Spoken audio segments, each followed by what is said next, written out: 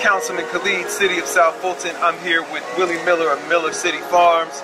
We're going to show you how you can grow food in your own backyard. So all you need is two pieces of wood on a or just so you know, when we talk about compost, we talk about manure, right? Correct. Or we got the dirt, we got the manure, so now we need the food. This is the plant food that actually the plant. There are only a couple things right now that you can start out with. You're gonna have your greens like your collard greens, like your kales, like your mustards, like your turnip greens. Marigolds are great plants, but you can use them to repel most of the plants, or most of the pests that are gonna come and try to attack your, your produce. We're out here in my backyard, and now we're going to build a box with all the materials that we bought at the Lowe's.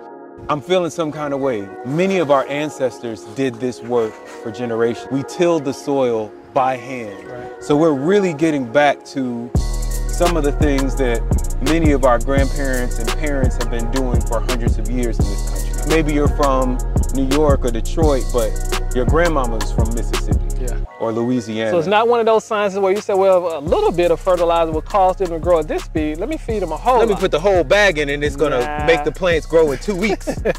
so please go to youtube.com slash Khalid Cares to find these videos. You can find out all information about the coronavirus and everything that you need to detect signs and symptoms, get tested, and get all of this information about sheltering in place at khalidcares.com slash survive.